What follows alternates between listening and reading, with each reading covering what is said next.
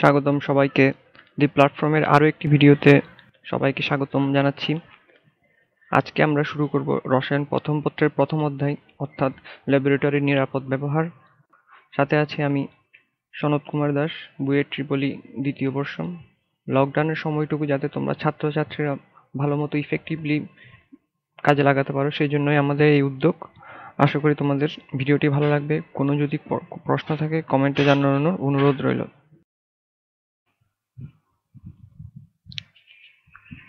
ল্যাবরেটরিতে সাধারণত চার ধরনের নিরাপত্তা সামগ্রী ব্যবহার করা হয়, যেমন অ্যাপ্রন তারপর আছে সেফটি গ্লাস মাস্ক এবং গ্লাভস এই অ্যাপ্রন একটা সাদা কাপড়ের তৈরি জামা। এটা সাধারণত পরা হয় যাতে কোনো রাসায়নিক দ্রব্য ছিটকে এসে আমাদের গায়ে বা শরীরে কোনো জায়গায় না পড়তে পারে, সেজন্য আমরা এই অ্যাপ্রন পরিধান করি। এরপর আছে সেফটি গ্লাস সেফটি গ্লাস আমরা চোখে পরে থাকি। চোখে যাতে কোনো রাসায়নিক দ্রব্য এসে না পড়ে, কিংবা যদি কোনো হঠাৎ ক্রমে, হঠাৎ কোনো একটা কাঁচ দ্রব্য ভেঙে যায়, তাহলে সেটা যাতে আমাদের চোখে এসে না পড়ে, সেজন্য আমরা সেফটি গ্লাস ব্যবহার করি। মাস্ক পরে থাকি সাধারণত বিভিন্ন রাসায়নিক দূষক দূষক বলে ভুল হবে যে কোনো রাসায়নিক দ্রব্য বা গন্ধ যাতে আমাদের নাকে এসে না পড়ে। সাধারণত বিভিন্ন গ্যাস উৎপন্ন হয় ল্যাবরেটরিতে যেমন ammonia, sulphur dioxide, hydrogen sulphide এবং কার্বন ডাইঅক্সাইড ইত্যাদি গ্যাস। তো এগুলো যাতে আমাদের নাকে এসে প্রবেশ করে আমাদের ফুসফুসের কোনো ক্ষতি করতে না পারে, সেজন্য আমরা সাধারণত মাস্কটা পরে থাকি। এরপর আছে গ্লাভস। কখনো আমাদের কিন্তু উচিত না যে রাসায়নিক দ্রব্য খালি হাতে স্পর্শ করা, তাহলে শরীরে যে কোনো সময় ক্ষতি হতে পারে। যেমন যদি আমরা হাত দিয়ে সরাসরি অ্যাসিড অথবা ক্ষারকে স্পর্শ করি, তাহলে হাত জ্বলে যেতে পারে। তো এই জন্য আমরা গ্লাভস ব্যবহার করব। গ্লাভস ব্যবহার করলে এখানে কোনো ঝুঁকি থাকবে না। এছাড়াও যদি আমাদের কোনো ভাঙা কাঁচের টুকরা নিয়ে কাজ করতে হবে যেমন এগুলো যদি পরিষ্কার করতে যাই, তখন যদি আমরা খালি হাতে ধরি, তাহলে আমাদের কিন্তু হাতে মানে ক্ষত হওয়ার একটা সুযোগ থাকে। তো আমরা এই জন্য আমরা এটাকে এড়ানোর জন্য আমরা গ্লাভস ব্যবহার করে থাকি। তো বিভিন্ন ধরনের গ্লাভস আমরা বাজারে দেখতে পাই। যেমন লেটেক্স গ্লাভস, পিভিসি গ্লাভস, জিটেক্স গ্লাভস, কটন গ্লাভস এবং রাবার গ্লাভস। এখানের মধ্যে মূলত রাবার গ্লাভসটা আমরা যে কোনো জায়গায় বেশি ব্যবহৃত দেখে থাকি। এছাড়া পাশাপাশি জিটেক্স গ্লাভসটা আগে ব্যবহার করা হতো, কিন্তু এখন করা হয় না, কারণ এটার অ্যাসবেস্টসের এর মূল উপাদান হিসেবে সাধারণত অ্যাসবেস্টস ব্যবহার করা হয়, যেটা মানে ক্যান্সারের জন্য ঝুঁকিপূর্ণ।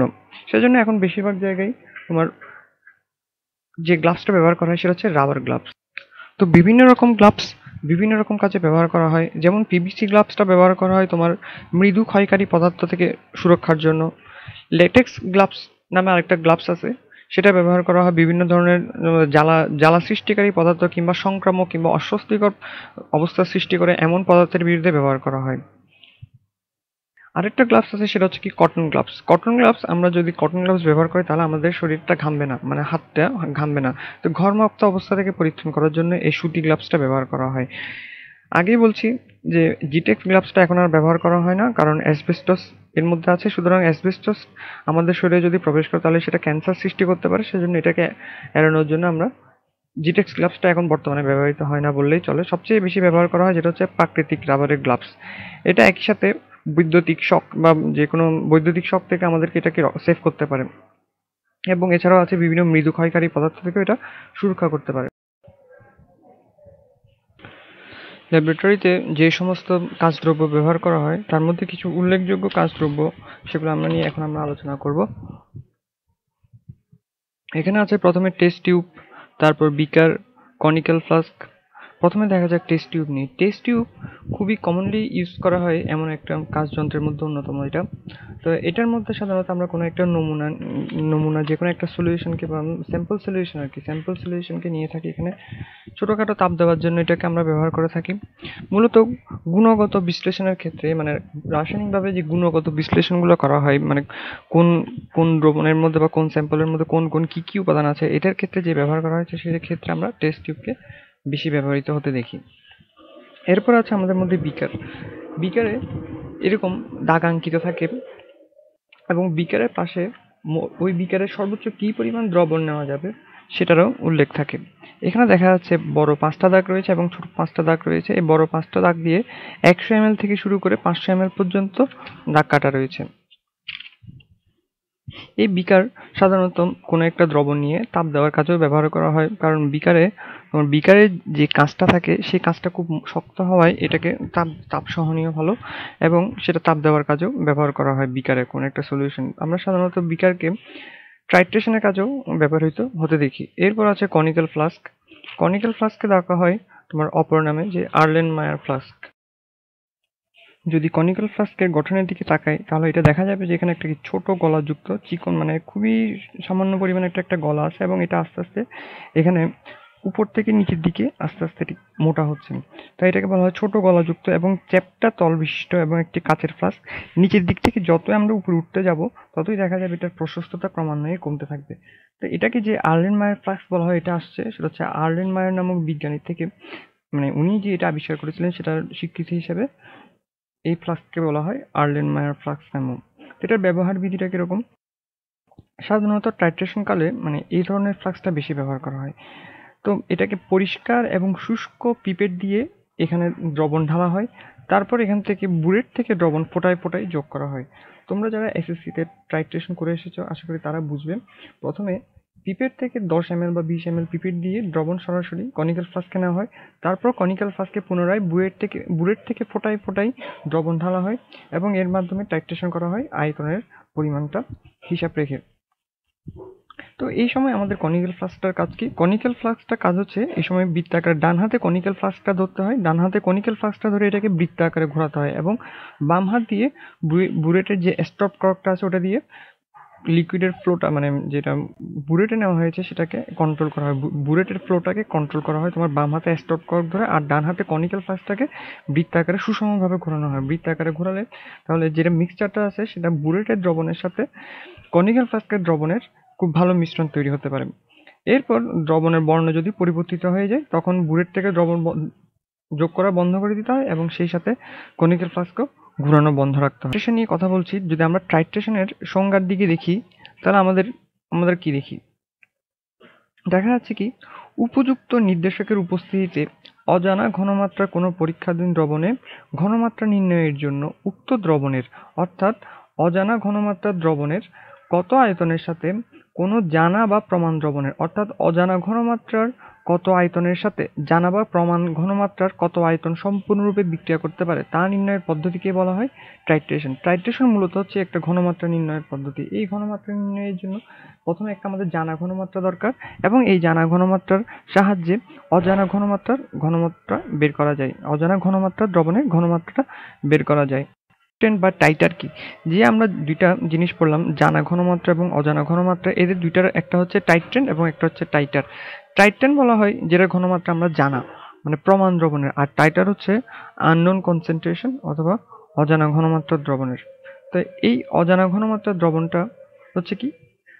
টাইটার আর জানা ঘনমাত্রা হচ্ছে টাইট্রেন্ট এরপর আমরা যে দুইটা কাজ যন্ত্র দেখতে পাচ্ছি, এদের মধ্যে একটা হচ্ছে ভলিউমেট্রিক ফ্লাস্ক আর হচ্ছে রাউন্ড রাউন্ড বটম ফ্লাস্ক আচ্ছা ভলিউমেট্রিক ফ্লাস্কে দেখা যাচ্ছে এখানে দুইশো পঞ্চাশ এম মানে এর মোট পরিমাণ দেখা আছে এবং দুশো পঞ্চাশ এম হবে আমি যদি এতটুকু পর্যন্ত নিই, এখানে একটা দাগ কাটা রয়েছে এই দাগটা দেখা যাচ্ছে, তো এই দাগ পর্যন্ত যদি নেই, তাহলে সেটা হবে দুশো পঞ্চাশ এম আচ্ছা ভলিওমেট্রিক ফ্লাস্কের বর্ণনার দিকে যদি আমরা যাই, তাহলে দেখা যাচ্ছে এখানে একটি কি লম্বা গলাযুক্ত এবং চ্যাপটা তল বিশিষ্ট। এই চ্যাপটা, এই তলটা কিন্তু কি? এটার মতো গলিও না, এটা অনেকটা কি? চ্যাপটা তল বিশিষ্ট একটি কাঁচের ফ্লাস্ক এটা নির্দিষ্ট আয়তনের মানে যদি আমরা দ্রবণ, যেমন এখানে দ্রবণ প্রস্তুতে ব্যবহার করা হয়, যেমন এটা যদি আমরা যদি দ্রবণ প্রস্তুত করি দুশো পঞ্চাশ এম ঠিক দুশো পঞ্চাশ এম দ্রবণ প্রস্তুত করার জন্য এটা আমরা ব্যবহার করতে হবে দুশো পঞ্চাশের কমও না, দুশো পঞ্চাশের বেশিও না। এখানে মিলিলিটার স্কেলেই সাধারণত দাগ কাটা মিলিলিটার স্কেলেই এটার মানে তোমার পরিমাপটা লেখা থাকে এখানে। এখানে কোনো কিন্তু দাগ কাটা নাই। কারণ আমি শুধুমাত্র নির্দিষ্ট আয়তন প্রমাণ দ্রবণের জন্যই এটা আমরা প্রস্তুত করতে ভলিউমেট্রিক ফ্লাস্কটা ব্যবহার করি। তাহলে ভলিউমেট্রিক ফ্লাস্ক থেকে আমরা কি জানলাম? এটা হচ্ছে প্রমাণ দ্রবণ প্রস্তুতের জন্য ব্যবহার করা হয় এবং এটা নির্দিষ্ট আয়তন। লেখা থাকে, কিন্তু কোনো দাগাঙ্কিত থাকে না এবং এটা সরু গলাযুক্ত এবং চ্যাপ্টা তল বিশিষ্ট একটা ভলিউমেট্রিক ফ্লাস্ক। এরপর যদি দেখি আমরা গোলতলি ফ্লাস্কের দিকে। গোলতলি ফ্লাস্কের মূল বৈশিষ্ট্য হচ্ছে এটার যে তলাটা সেটা গোলাকৃতির এবং এখানেও এটার মতো দুশো পঞ্চাশ টা লেখা আছে, কিন্তু এটার গলাটা কিন্তু এটার মতো সরু নয়, অনেক মোটা এবং ছোটও। কিন্তু এটা পুরোটা একটা কি গোল আকারের একটা একটা পাত্র বলা যায় আর কি, রাউন্ড বটম ফ্লাস্ক। এরপর আসি মেজারিং সিলিন্ডার অথবা পরিমাপক সিলিন্ডার। আমরা যদি এটা চিত্রের দিকে তাকাই, দেখা যাবে এটার একটা অনেকটা গ্লাস টিউবের মতো দেখতে, কিন্তু গ্লাস টিউবে কিন্তু কোনো এরকম দাগ কাটা ছিল না, যেটা আমরা মেজারিং সিলিন্ডার বা পরিমাপক সিলিন্ডারে দেখতে পাচ্ছি এবং এটা তলাটার মধ্যেও কিছুটা পার্থক্য দেখা যাচ্ছে এবং তলটা কিন্তু কি চ্যাপটা এবং এটা একটি বহুভুজাকৃতির একটা তল। তো পরিমাপক সিলিন্ডারের দিকে যদি আমরা বর্ণনার দিকে যাই, তাহলে দেখা যাবে কি এটা হচ্ছে আমরা তোমার কাঁচের পুরো দেওয়ালযুক্ত এক মুখ খোলা এবং এর নিচের দিকটা বন্ধ সিলিন্ডার আকৃতির এবং নির্দিষ্ট দাগে সর্বদা এখানে দাগ আঙ্কিত থাকে। এবং এই দাগটা কিন্তু মিলিলিটার স্কেলে দাগ কাটা থাকে। বিভিন্ন আয়তনে তোমার সিলিন্ডার পাওয়া যায়। তো সিলিন্ডারের আয়তন অনুসারে এরকম দাগ কাটা থাকবে। যেমন এটা যদি টেন মিলিলিটার পরিমাপক সিলিন্ডার হয়, তাহলে এখানে সর্বোচ্চ দশ এম পর্যন্ত, যদি পঞ্চাশ এম হয়, তাহলে এখানে পঞ্চাশ এম পর্যন্ত দাগ কাটা থাকবে। এরপর আমাদের আলোচনায় যে যন্ত্রটা আছে, সেটা হচ্ছে বুলেট এই বুলেটটা তোমরা হয়তো টাইট্রেশনের ক্ষেত্রে দেখে আসছো নাইন টেনে বা এসএসসিতে তো এটার কাজ কি? এটার কাজটাই হচ্ছে মূলত টাইট্রেশনের ক্ষেত্রে আমরা যে দ্রবণটা আমরা কনিক্যাল ফ্লাস্কে ঢালি, সেটা যদি আমরা নিয়ন্ত্রণ করতে চাই, তাহলে এটা হচ্ছে আমাদের সেই জন্য একটা ব্যবহার, বহুল ব্যবহৃত যন্ত্র। তো বুলেটে কী কী আছে? একটা অনেক বড় একটা কাঁচনল থাকে। এটা হচ্ছে, যেমন তুমি যদি আমরা যদি এই চিত্রটার দিকে দেখাই, তাহলে দেখা যাবে কিনা অনেক বড় একটা কাঁচনল উপরের দিকে কাঁচনলটা যথেষ্ট সুষম এবং নিচের দিকে আস্তে আস্তে অনেকটা কি জেট আকৃতি বা সরু হয়ে গিয়েছে এবং মাঝখানে একটা মানে কলের মতো বা ট্যাপের মতো একটা জিনিস দেখাচ্ছে। এটাকে বলা হয় স্টপ কর্ক তো স্টপ কর্কটার কাজ কি? স্টপ কর্কটা দিয়ে আমরা এটার ফ্লোটাকে নিয়ন্ত্রণ করতে পারি। স্টপ কর্কটা যদি আমরা একদিকে ঘুরাই, তাহলে দেখা যাবে ফ্লোটা খুব দ্রুত পড়ছে। যদি অন্যদিকে ঘুরে দেখা যাবে ফ্লোটা খুব আস্তে আস্তে কমতে কমতে এবং ফোটাই ফোটাই পড়ছে এরকম একটা সিচুয়েশন তৈরি হবে। তো বুলেটের বর্ণনার যদি, দিকে যদি আমরা যাই, তাহলে দেখা যাচ্ছে এখানে উপরের দিকটা কিন্তু সমান ব্যাসযুক্ত এবং মোটা দাগাঙ্কিত কাশনল যে এখানে দেখা যাচ্ছে তোমার, নিচের দিকে দেখা যাচ্ছে এটা একশো দাগাঙ্কিত এবং উপরের দিকে যদি দেখা এটা হচ্ছে শূন্য দাগাঙ্কিত আছে। এটাও একটা দুই পার্টের বিভক্ত। এটার উপরে যদি এটাকে দাঁড় করিয়ে দেওয়া যায়, তাহলে অনেক বড় কাশনল সেজন্য এটা ছবিতে দুই ভাগে ভাগ করে দেখানো হয়েছে। তা দেখা যাচ্ছে এখানে শূন্য এবং এটা হচ্ছে কি, একশো। তো স্টপ কর্কের সাহায্যে বুলেট থেকে যদি ফোটায় ফোটায় দ্রবণ, আমরা কনিক্যাল ফ্লাস্কে ঢালি, তাহলে সেটা হচ্ছে মানে বুলেটের ব্যবহার তখন। বুলেটের সরু মুখে যে স্টপ কর্কটা লাগানো থাকে এবং এখানে বুলেটের দাগগুলোর ক্ষেত্রে কিন্তু প্রত্যেক মিলিলিটারকে দশ দশ ভাগে ভাগ করা হয়। অর্থাৎ এখান থেকে নিরানব্বই থেকে একশো পর্যন্ত হচ্ছে ওয়ান এম এবং ওয়ান এম এলকে আরও দশ ভাগে ভাগ করা হয়। তাই এর মাধ্যমে আমরা তাহলে কি কতটুকু সূক্ষ্ম পর্যন্ত পরিমাপ করতে পারি? সেটা হচ্ছে জিরো পয়েন্ট ওয়ান এম পর্যন্ত। আয়তন মাপা যায়। এর চেয়ে যদি বেশি সূক্ষ্ম দরকার হয়, তাহলে আরও উন্নত প্রযুক্তির বুলেট রয়েছে। যেমন, তোমার কিছু কিছু বুলেট রয়েছে যেগুলো দিয়ে আমরা zero point zero five M L, অর্থাৎ দশমিকের পর দুই ঘর পর্যন্ত এম এল পরিমাপ আমরা সূক্ষ্মভাবে পরিমাপ করতে পারি। এর চেয়েও বেশি প্রিসিশনের জন্য আমরা কতগুলো বুলেট রয়েছে, যেমন ইলেকট্রনিক বুলেট, যেগুলো ইলেকট্রিক্যালি খুব প্রিসাইসলি মেজার করে কী পরিমাণ দ্রবণ আমরা ব্যবহার করছি। বুলেট ব্যবহারের ক্ষেত্রে আমাদের বুলেটের যে পরিষ্কার কৌশলটা, সেটা একটু জেনে নেওয়া খুবই জরুরি। যেমন বুলেটকে যদি আমরা পরিষ্কার করতে চাই, যে কোনো কিছু, যে কোনো দ্রবণ ব্যবহারের আগে এবং পরে আমাদেরকে অবশ্যই এটা ভালো মতো পরিষ্কার করে রাখতে হবে। বুলেটকে প্রথমে সাধারণত ডিটারজেন্ট দ্বারা ভালো মতো পরিষ্কার করে নেওয়া হয়, তারপর এটাকে ক্রমিক অ্যাসিড দিয়ে ধুয়ে নিতে হয়। তারপর ডিস্টিল ওয়াটার দিয়ে বুলেট সাধারণভাবে ধুয়ে ফেলা হয়। এখন এটা হচ্ছে বুলেটের কাজ নলের পরিষ্কারের জন্য। এখন যদি স্টপ কর্ক এবং স্টপ কর্কের দিকে যদি তাকায় তাহলে স্টপ কর্ক যদি ঠিক মতো না ঘুরে, তখন এটা কি করতে হবে? যদি স্টপ কর্ক ঠিক মতো না করে মনে হয় যে এটা শক্ত হয়ে গেছে বা আটকে গেছে, তখন এটার উভয় পাশে সামান্য একটু গ্রিজ লাগিয়ে দেওয়া হয়। গ্রিজ হচ্ছে অনেকটা একটা লুব্রিকেন্ট জাতীয় পদার্থ। এটা যদি স্টপ কর্কের দুই পাশে সামান্য করে লাগিয়ে দিই, তখন স্টপ কর্কের ছিদ্রের ভিতরে এটা প্রবেশ করে এটাকে মানে যেটা ফ্রিকশন ফ্রিকশনটাকে কমিয়ে দেয়। তার ফলে সহজেই আমরা এটাকে কি মুভ করতে পারি। এভাবে গ্রিজ লাগিয়ে আমরা স্টপ কর্কটাকে পরিষ্কার করতে পারি। এবার আসি বুলেট ব্যবহারের ক্ষেত্রে খুবই গুরুত্বপূর্ণ একটা টার্ম সেটা হচ্ছে আমাদের মিনিসকাস তো এই মিনিসকাস কথাটা কি? মিনিসকাস কথাটা শুধুমাত্র বুলেটের ক্ষেত্রেই না এটা যে কোনো সরু কাস্টনালের ক্ষেত্রেই দেখা যায়, সরু কাস্টনাল যেমন তোমার কি কি, যে পিপেট হতে পারে, বুলেটের ক্ষেত্রে এটা দেখা যায়, তারপর মেজারিং সিলিন্ডার এগুলোর ক্ষেত্রেও আমরা মিনিসকাস জিনিসটা দেখে থাকব। এটা মিনিসকাস জিনিসটা কি মিনিসকাস জিনিসটা হচ্ছে একটা বক্রতল। যে কোনো তলের যদি লিকুইড বা মানে তরল জাতীয় পদার্থের এরকম একটা বক্রতল সৃষ্টি হয়, এটা মূলত সৃষ্টি হয় পৃষ্ঠ টানার কারণে। তো পৃষ্ঠ টানার কারণে কখনো তোমার অবতল তল সৃষ্টি হয়, কখনো বা উত্তল মিনিসকাস সৃষ্টি হয়। একটাকে বলা হয় কনকেভ মিনিসকাস আর একটাকে বলা হয় কনভেক্স মিনিসকাস। সাধারণত আমরা যেটা দ্রবণ ব্যবহার করি পানির ক্ষেত্রে, এটা দেখা যায় অবতল মিনিসকাস হিসাবে এবং পারদের ক্ষেত্রে সেটা দেখা যায় উত্তল মিনিসকাস। তখন আমরা মিনিসকাসের জন্য আমরা কোন পার্টটা নিব, সেই ক্ষেত্রে একটা দ্বিধাদ্বন্দ্ব তৈরি হয়। তো আমরা যেমন ধরি, এখানে দেখা যাচ্ছে কি, এখানে একটা প্রথম উপরে একটা লেয়ার দেখাচ্ছে, নিচে আরেকটা লেয়ার দেখা যাচ্ছে আমরা যদি এই চিত্রটার ক্ষেত্রে দেখি, ঠিক সেম ঘটনা, উপরে একটা লেয়ার দেখা যাচ্ছে এবং নিচে একটা লেয়ার দেখা যাচ্ছে তাহলে আমরা কোন পার্টটা নিব এখান থেকে? কোন মাপটা নিব, উপরেরটা নাকি নিচেরটা? তো এটার ক্ষেত্রে আমাদের সলিউশনটা হচ্ছে if you can see the lower meniscus, then use that. If you cannot see the lower meniscus, read the upper meniscus. অর্থাৎ আমরা যদি লোয়ার মিনিসটাকে দেখা না যায়, তাহলে আমরা লোয়ার মিনিসকাসটা নেব না, আমরা আপার মিনিসকাসটা নেব। আর যদি লোয়ার মিনিসকাসটা দেখা যায়, তাহলে সবসময় লোয়ারটা নিতে হবে। লোয়ার মিনিসকাসটা কি? এইটা হচ্ছে লোয়ার এবং এটা হচ্ছে আমাদের আপার মিনিসকাস কখন আমরা কোনটা ব্যবহার করব? যেমন কালারলেস সলিউশনের ক্ষেত্রে লোয়ার মিনিসকাসটা আমরা ব্যবহার করব। কারণ কালারলেস সলিউশনটা হচ্ছে কি ট্রান্সপারেন্ট সলিউশন তো ট্রান্সপারেন্ট সলিউশনের ক্ষেত্রে আমাদের লোয়ার মিনিসকাসটা এটা স্পষ্ট দেখা যায়। কিন্তু যেটা দেখা যায় হচ্ছে কালার্ড সলিউশনের ক্ষেত্রে। অর্থাৎ কালারফুল কোনো একটা সলিউশনের ক্ষেত্রে যদি আমরা বুড়েটে নিই, তখন কিন্তু আমরা এই জিনিসটা দেখা যাবে না তখন শুধুমাত্র উপরের লেভেলটা এখানে দেখা যাবে। এটাকে বলা হয় আপার মিনিসকাস তখন আমরা আপার মিনিসকাসটা নিব। অর্থাৎ তাহলে কি দাঁড়াল সিদ্ধান্ত? কালারলেস সলিউশনের ক্ষেত্রে আমরা সবসময় লোয়ার মিনিসকাসটা মাপটা নিব।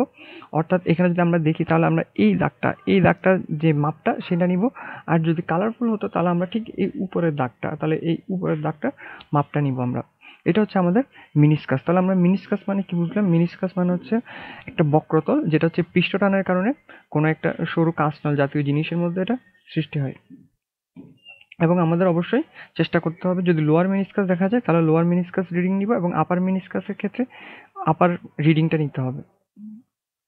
এখন মিনিসকাসের অর্থাৎ যে বক্রতলটার, এই যে বক্রতলের রিডিং নেওয়ার সঠিক কারেক্ট ভিশনটা কি? এই ভিশনটা হচ্ছে তোমাকে, তুমি যদি উপরের দিক থেকে দেখো তাও হবে না, নিচ থেকে দেখলেও তাও হবে না, একদম চোখের লেভেল অর্থাৎ চোখের, যে চোখের লেভেলে তোমার বুলেটকে ধরে বুলেট একদম মানে এই যে লোয়ার মিনিসকাসটাকে একদম আই লেভেলে রেখে তখন যে মেজারটা নিতে হবে। কারণ আমরা যদি উপর থেকে নিই, তাহলে আমরা এই মাপটাতে দেখব নিচ থেকে নিলে এই মাপটা দেখব। তাহলে আমরা যদি একদম লেভেল থেকে নিই মানে আই লেভেলে যদি মিনিস কাজ থেকে লোয়ার মিনিস কাজটাকে রেখে মাপ নিই, তাহলে আমরা কারেক্ট মেজারমেন্টটা পাবো। এরপর আসি পিপেট পিপেটে দেখা যাচ্ছে কি, নির্দিষ্ট আয়তনে যখন আমরা তরল পদার্থকে সঠিকভাবে মেপে এক পাত্র থেকে অন্য পাত্রে স্থানান্তর করতে চাই, তখন আমরা দুই মুখ খোলা স্বরূপ একটা কাঁচনলটা ব্যবহার করি। এটাকে বলা হচ্ছে পিপেট। তাহলে পিপেট হচ্ছে কি, দুই মুখ খোলা কাঁচনল। উপর দিকটা একটু মোটা এবং নিচের দিকে আস্তে আস্তে খুবই সূক্ষ্ম হয়ে যায় এবং এখানে দাগ দাগ কাটা থাকে কত এম এবং সর্বোচ্চ কত এম নেওয়া যাবে সেটা আমাদের দাগ কাটা থাকে। যেমন এটাকে বলা হচ্ছে বিশ ডিগ্রি সেলসিয়াস তাপমাত্রায় মানে কক্ষ তাপমাত্রা হিসেবে দশ এম এবং এখানে পিপেটের এটা দুই রকমের পিপেট। এই এখানে পিপেটের মাঝখানের অংশটা মোটা, অধিক মোটা এখানে এতটা মোটা না। এবং পিপেটে আমরা কীভাবে নিব? পিপেটে আমরা দুইভাবে নিতে পারি। মুখ দিয়ে টেনে নিতে পারি। যেমন এদিকে যদি আমরা মুখ দিই এবং নিচ থেকে তাহলে তরল মুখ দিয়ে টেনে নিতে পারি। কিন্তু এখানে একটা রিস্ক থাকে, সেটা হচ্ছে মুখে যে কোনো সময় আমাদের রাসায়নিক দ্রব্য প্রবেশ করে যেতে পারে। সেজন্য আমরা ব্যবহার করব পিপেট ফিলার। এই পিপেট ফিলার ব্যবহার করে এখানে একটা বাল্ব রয়েছে। বাল্বে চাপ দিলেই সহজে নিচ থেকে তরল উপরে উঠে এখানে চলে আসবে আমাদের প্রয়োজন মতো এবং বাল্বটাকে প্রেশারটাকে আমরা কন্ট্রোল করতে পারি। এবং যখন এক জায়গা থেকে পানি, তরলটা নেওয়ার পর অন্য জায়গায় রাখতে যাব, তখন বাল্বটাকে চেপে ধরে, নির্দিষ্ট জায়গায় এখানে চেপে ধরে, এটাকে খুব নিয়ন্ত্রিতভাবে এটাকে মানে তরলটাকে অন্য জায়গায় যেমন আমরা যদি এটা কনিক্যাল ফ্লাস্কে রাখতে চাই অথবা বিকারে রাখতে চাই, যেখানে চাই সেখানে আমরা রাখতে পারব। এখন পিপেটের বর্ণনাটা দেখি। পিপেট দেখো, এখানে পিপেটে কিন্তু দাগ আঙ্কিত রয়েছে এবং এই পিপেট বিভিন্ন রকমভাবে দাগ কাটা থাকতে পারে, পাঁচ মিলিলিটার অথবা দশ মিলিলিটার অথবা বিশ মিলিলিটার আয়তনে, নির্দিষ্ট আয়তনের তরলের জন্য নির্দিষ্ট বিভিন্নভাবে দাগ কাটা থাকতে পারে। ম্যাক আচ্ছা ম্যাক্রো এবং সেমি মাইক্রো অ্যানালাইটিক্যাল কাজ এটা ব্যবহার করা যাচ্ছে ম্যাক্রো এবং সেমি মাইক্রো অ্যানালাইটিক্যাল কাজটা কি? হচ্ছে একটা সূক্ষ্মতার একটা ব্যাপার। ম্যাক্রো অ্যানালাইটিক্যালগুলোতে সূক্ষ্মতা সেমি মাইক্রোর চেয়ে কম থাকে। তো এখন এটা নিয়ে আমরা আরও পরে জানতে পারব। আপাতত আমরা জেনে রাখলাম শুধুমাত্র ম্যাক্রো এবং সেমি ম্যাক্রো অ্যানালাইটিক্যাল কাজে এই পিপেটটা ব্যবহার করা হয়। এখানে কিন্তু এই যে দশ মিলিলিটার পুরোটা দেখা যাচ্ছে। এখানে প্রত্যেকটা মিলিলিটার কিন্তু কি দশ ভাগে ভাগ করা থাকে। অর্থাৎ এর মাধ্যমে জিরো পয়েন্ট ওয়ান এম আয়তন পর্যন্ত পরিমাপ করা যায়।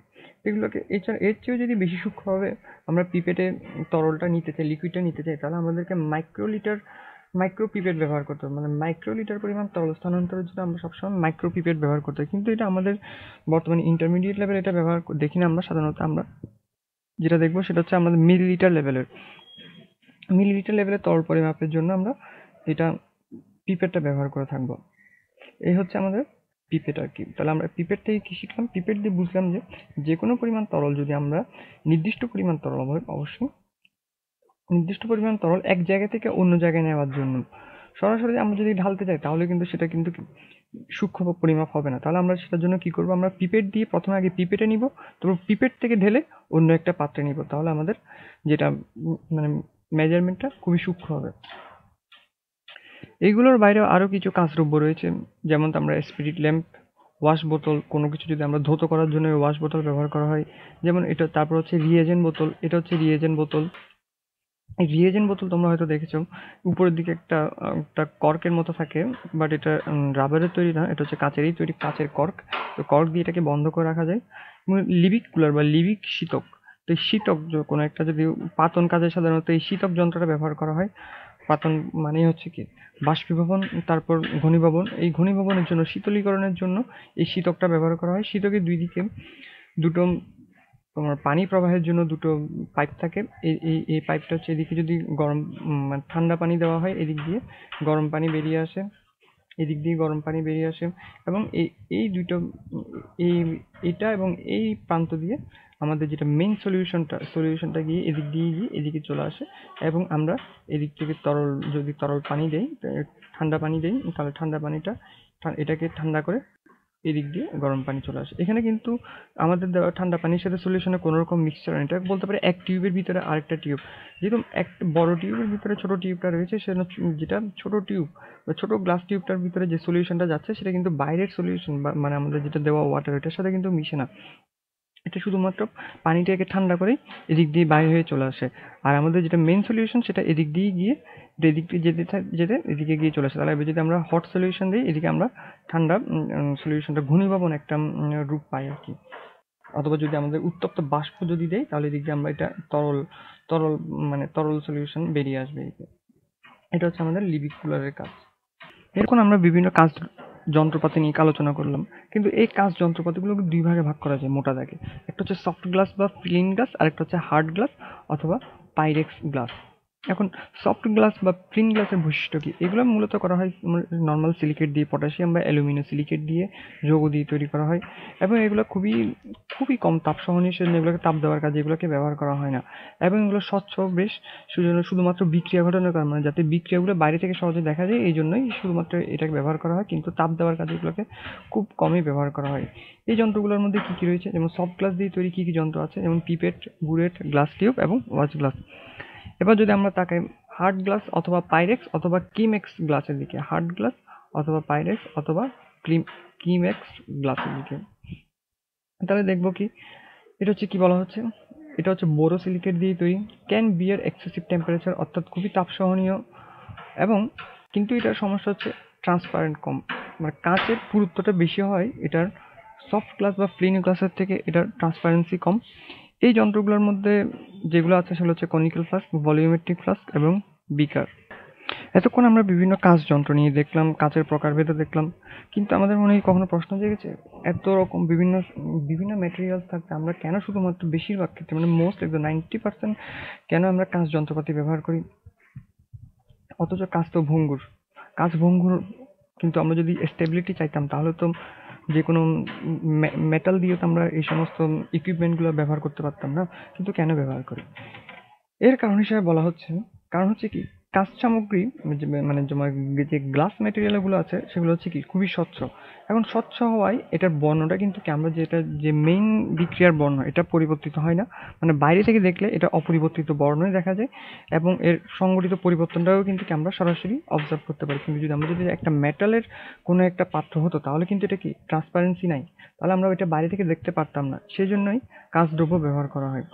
আর কাঁচ দ্রব্যের আরেকটা সুবিধা হচ্ছে কি, এটা সহজে মার্ক করা যায়। যে দাগ, দাগগুলো থাকে, দাগ কাটাগুলো থাকে, এগুলো কিন্তু খুব সহজে তোমার কাঁচে করা যায়। এবং আবার কাঁচের, দেখো, তোমার কাঁচের মানে তোমার যে কাঁচ সামগ্রীগুলোর আকার আকৃতি, গুণগত মানের কিন্তু পরিবর্তন হয় না যদি আমরা উচ্চ তাপ দিই। এবং কাঁচ রাসায়নিকভাবে নিষ্ক্রিয় বটে। সেই জন্য আমরা কাঁচ সামগ্রীগুলোই বেশি ব্যবহার করে থাকি। তোমার যে ল্যাবরেটরিতে আমরা যে সমস্ত উপাদান, বিভিন্ন সামগ্রী দেখি, ওগুলোর মধ্যে কিন্তু কি নাইনটি পার্সেন্টই কি কাঁচ সামগ্রী ব্যবহার করে থাকি, এই কারণের জন্যই। তবে এদের যদি নিষ্ক্রিয়তার, সক্রিয়তার কথা বিবেচনা করি, তবে এরা কাঁচ সামগ্রী কিছুটা বেশি সক্রিয় হয় যখন আমরা তীব্র এসিড অথবা তীব্র খাট দিই। কারণ তোমরা জানো কাঁচ কাঁচের উপাদান হচ্ছে কি সিলিকা তো এই সিলিকা উপাদানটা কিন্তু কি, ক্ষারের সাথে, সোডিয়াম হাইড্রোক্সাইডের সাথে বিক্রিয়া করে যে কোনো সময় সোডিয়াম সিলিকেট তৈরি করতে পারে, যেটা অবশ্যই কি কাঁচ ক্ষয়ের কারণ। এখন আমরা দেখব গ্লাস সামগ্রীগুলো ব্যবহার করার যে কৌশলটা কি। এই কৌশলগুলো আমি মুখে বলছি, তোমরা মনোযোগ দিয়ে খেয়াল করো, চাইলে ভিডিওটাকে পজ করে তোমরা এটা লিখে নিতে পারো। আমরা যে ল্যাবরেটরিতে কাঁচের যন্ত্রপাতি ব্যবহার করি, সেগুলোর কৌশলগুলো হচ্ছে বিভিন্ন কৌশল, একটা একটু সতর্ক হয়ে অবলম- অবলম্বন করা উচিত। সেই সতর্কগুলো গুলো গুলো যেমন কাঁচের যন্ত্রপাতি যখন আমরা ক্ল্যাম্প করব, অর্থাৎ স্ট্যান্ডের সাথে আটকিয়ে রাখব, সেটাকে যদি আমরা খুব জোরে চাপ দিই, তাহলে কিন্তু কি কাঁচ যন্ত্রপাতির দাগ বসতে পারে অথবা কাজ যন্ত্রপাতিটা ভেঙে যেতে পারে। অর্থাৎ মানে ক্ল্যাম্পিং জিনিসটা কি? কাজ যন্ত্রপাতি ক্ল্যাম্প করা হচ্ছে মানে কোনো একটা স্ট্যান্ডের সাথে একে আর কাজ যন্ত্রপাতিটাকে আটকি রাখা। তো আটকি রাখতে গেলে সেখানে একটা কি নাট বল্টুর একটা ব্যাপার আসবে অথবা স্ক্রুর একটা ব্যাপার আসবে। তো স্ক্রুটাকে খুব যদি আমরা খুব জোরে ঘুরিয়ে চাপ দিই, তাহলে কিন্তু কি কাজ যন্ত্রটা ভেঙে যেতে পারে। এই জন্য খুব সাবধানের সাহায্যে আমাদের ক্ল্যাম্পিং করতে হবে। এবার আসে কাঁচের উত্তপ্তকরণের ক্ষেত্রে সতর্কতা। কাঁচ, কাঁচকে কিন্তু একদিকে তাপ দিলে কিন্তু হবে না। সেটাকে মানে চারপাশে যাতে সুষমভাবে তাপ দেওয়া যায়, সেটা খেয়াল রাখতে হবে। কারণ একদিকে যদি বেশি তাপ যায় এবং অন্যদিকে যদি খুবই কম তাপ দেয়, তাপমাত্রা এই পার্থক্যের জন্য কিন্তু কি?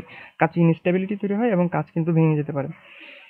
আচ্ছা এরপর যে কাঁচকে আমরা সঠিকভাবে উত্তপ্ত করি মানে দ্রবণ নিয়ে উত্তপ্ত করলাম এবং উত্তপ্ত করার পরে কিন্তু খুব দ্রুত একে ঠান্ডা করা যাবে না। এরপর তাপমাত্রা হঠাৎ পরিবর্তনের জন্য কিন্তু এই কাঁচ সামগ্রী ভেঙে যেতে পারে। একটা কথা বলে রাখি, সেটা হচ্ছে কাঁচ সামগ্রীতে খুব মানে খুব সরাসরি তাপ প্রয়োগ না করে অ্যাসবেস্টস অথবা সিরামিকের প্রলেপ দেওয়া কিছু তার জালি বা ত্রিপদ স্ট্যান্ড পাওয়া যায়। এই ত্রিপদ স্ট্যান্ডের উপরে সিরামিকের তার জালির উপর রেখে একে তাপ দেওয়া হয়। তাহলে সুষমভাবে তাপও প্রয়োগ হয় এবং মানে তাপ যেটা কাঁচের যেটা ক্ষতি হতে পারতো, সেখানে মানে কাঁচেও আর কালো দাগ পড়ে না। এই তার জালি তার অ্যাসবেস্টসের প্রলেপ দেওয়া তার জালির জন্য। তোমরা যদি ল্যাবে কাজ করতে যাও, তোমরা এটা দেখবে। এরপর আসো দ্রবণ নাড়ানোর ক্ষেত্রে একটা সতর্কতা আছে, সেটা হচ্ছে দ্রবণ নাড়ানোর ক্ষেত্রে গ্লাস রড বা ধাতব রড যেটা আমরা ব্যবহার করি, সেটা যদি গ্লাস রড যদি ভাঙা থাকে গ্লাস রডের মুখটা যদি ভাঙা থাকে, তাহলে পাত্রের মধ্যে দ্রবণ নাড়ানোর সময় কিন্তু কি পাত্রের গায়ে বিভিন্ন রকম স্ক্র্যাচ পড়তে পারে। তো এটার জন্য করা হয় কি গ্লাস রড বা যেটা দিয়ে নাড়ো নাড়াবো আমরা, সেটার মুখে একটা রাবারের একটা একটা কাভার ব্যবহার করা রাবারের ক্যাপ বলা হয় এটাকে। সেটা যদি আমরা ব্যবহার করি, তাহলে রাবারের মানে তোমার দাগ পড়বে না স্কেচটা পড়বে না। তো এইগুলো ছিল মূলত বিশেষ সতর্কতা, কয়েকটা সতর্কতা যে কাজ দ্রব্য ব্যবহারের ক্ষেত্রে। এই- এগুলো ছাড়াও আরও আরও আছে। তোমরা যদি বিভিন্ন বই পড়ে থাকো, তার মধ্যে সবগুলো পাবে। তোমরা বইটা ভালো মতো পড়বা, যাতে বই থেকেই বেশি তথ্য পেতে পারো, এবং বইটা অবশ্যই দাগিয়ে দাগিয়ে পড়বা। মনোযোগ দিয়ে পড়বা। আশা করি তোমরা আমি যেগুলো পড়িয়েছি সেগুলো বুঝতে পারবা।